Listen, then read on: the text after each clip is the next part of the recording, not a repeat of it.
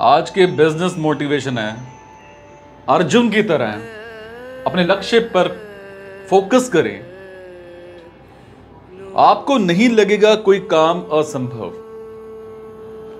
एक बार क्या होता है कि गुरु द्रोणाचार्य ने एक एक करके भीम, नकुल, सहदेव को आगे बुलाया। और उनके हाथों में तीर कमान थमाकर वही सवाल किया। तो लेकिन उनके जवाब से गुरु द्रोणाचार्य असहमत हुए और धनुष बाण वापस ले लिया। तो अंत में उन्होंने अर्जुन को बुलाया और धनुष धनुष बाण देकर के प्रश्न किया। तब अर्जुन ने निशाना साधते हुए कहा कि मुझे मछली की आँखों के सिवाय कुछ नहीं दिख रहा है। जवाब सुनकर गुरु द्रोण समझ गए कि अर्जुन ही मछली की आँख पर सही निशाना साध सकते हैं, और वही हुआ। दरअसल द्रोणाचार्य ने देख लिया था कि अर्जुन के सभी भाई लक्ष्य के बजाय दूसरी चीज़ों पर ध्यान केंद्रित कर रहे थे। इसीलिए, जब उनके पूछने पर अर्जुन ने बताया कि उनकी निगाहें सिर्फ़ मछली पर हैं तो द्रोणाचार्य समझ गए कि अर्जुन ने लक्ष्य को पकड़ लिया है, इसीलिए उनकी सफलता निश्चित है।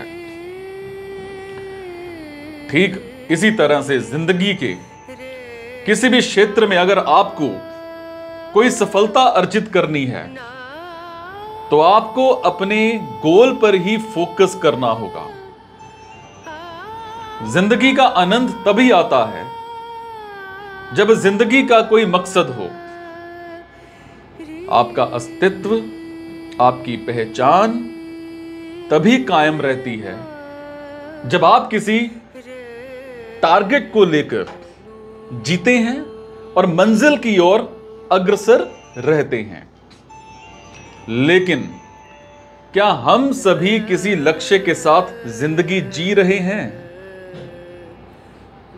आज बामुश्किल लोग हैं जो लक्ष्यों को हासिल करने के लिए बहुत कोशिश करते हैं। और बाकी लोग तो बस खाने पीने और रूटीन कामों में मशरूफ रहकर जैसे तैसे ज़िंदगी गुजारते हैं।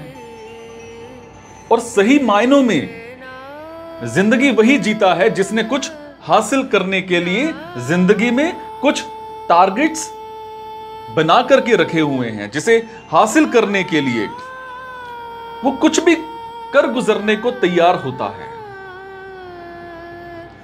वो अपने सपनों के लिए जीता है, अपने सपने के साधनों का खुद जुगाड़ करता है।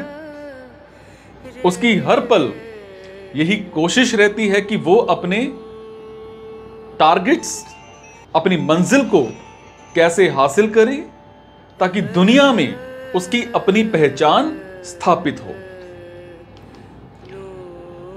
देखो, टारगेट का पहले से डिसाइड होने से आप भटकते नहीं हैं, क्योंकि आपको पता रहता है कि आपको करना क्या है, आप हासिल क्या करना चाहते हैं। इस बात का एहसास होते ही टारगेट को पाने का सही मार्ग पता चल जाता है। और इस तरह से वो उन लोगों से काफ़ी आगे निकल जाता है जो बिना टारगेट के आगे बढ़ते रहते हैं। और लास्ट में टारगेट को लेकर चलने वाले की जीत होती है। ऐसे लोगों की भी कमी नहीं है, जो अपने टारगेट्स के प्रति गंभीरता से उसको शो करते हैं और इसके बाद वो रूटीन वाली लाइफ जीने लगते हैं। इस समस्या का समाधान कुछ किया जा सकता है।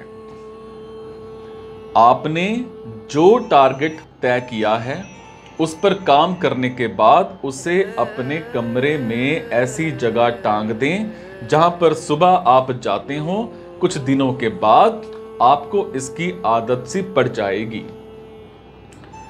अब रात को सोते समय अपने उस नोट को फिर से देखें। जिस पर आपने लक्ष्य लिखा हुआ है और इसके बाद आप खुद से पूरे करने हैं और पूछें कि इस लक्ष्य को लेकर आपने अब तक क्या किया है।